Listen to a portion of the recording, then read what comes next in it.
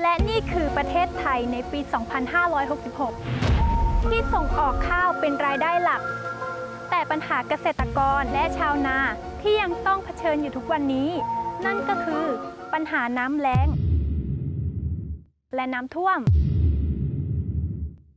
บางพื้นที่ที่ไม่มีไฟฟ้าเข้าถึงเกษตรกร ต้องพึ่งพาปั๊มน้ำที่ใช้พลังงานจากน้ำมัน ซึ่งมีการปล่อยมลพิษ และต้นทุนค่าน้ำมันที่เพิ่มขึ้นทุกวันทุกวัน แต่ปัญหาชุมชนนี้ได้ถูกแก้ไขเมื่อ 8 ปีที่แล้ว ด้วยความคิดของชายคนหนึ่งที่ได้มองเห็นทางออกของปัญหานี้ ด้วยพลังงานสะอาด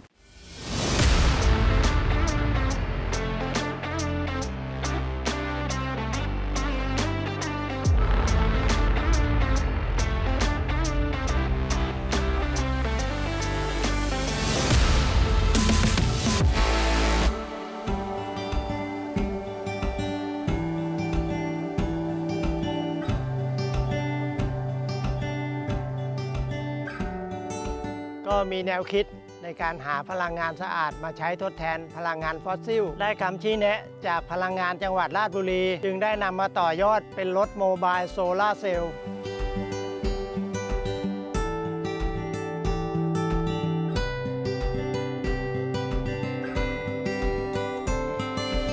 คุณสมบัติของรถโมบายโซลาร์เซลล์ประกอบด้วยแผงโซลาร์เซลล์ขนาด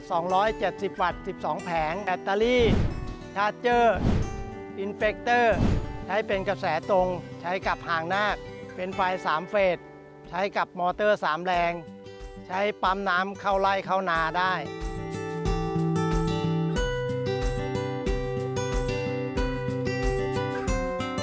ก็รักนะรถโมบายโซลาร์เซลล์ครับ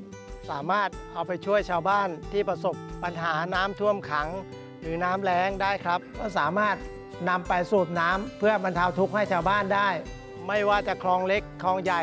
ก็สามารถไปได้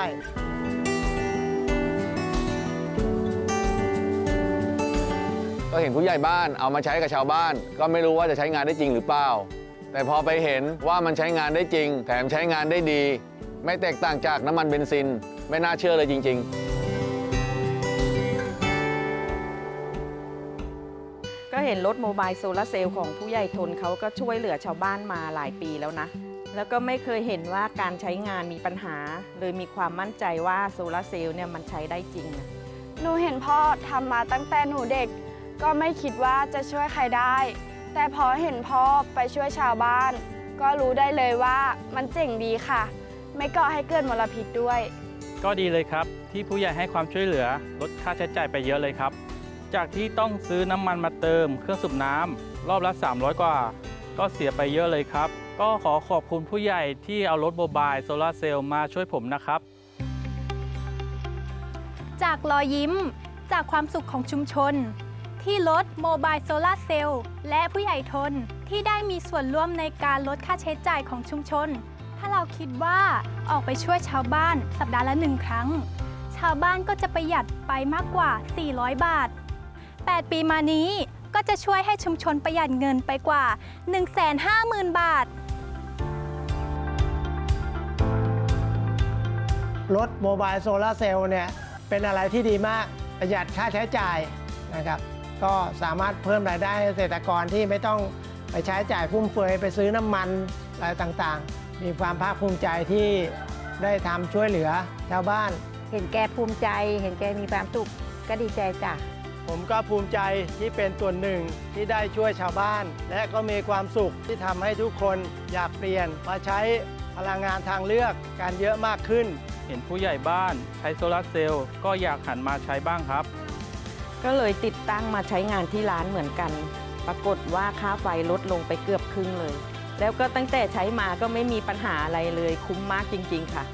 อยากจะนำหรือว่าเปลี่ยนแนวคิดสำหรับคนรุ่นหลังในการที่นำพลังงานสะอาดมาใช้ ไม่ว่าจะเป็นลมหรือว่าเป็นแดดมีให้ใช้มากมายก็แล้วแต่แนวคิดก็อยากให้ทุกคนหันมาเปลี่ยนมาใช้พลังงานสะอาดกันเยอะ ๆ นะครับ โอเคครับ ได้เลยครับ เดี๋ยวไปเลยเสร็จธุระพอดี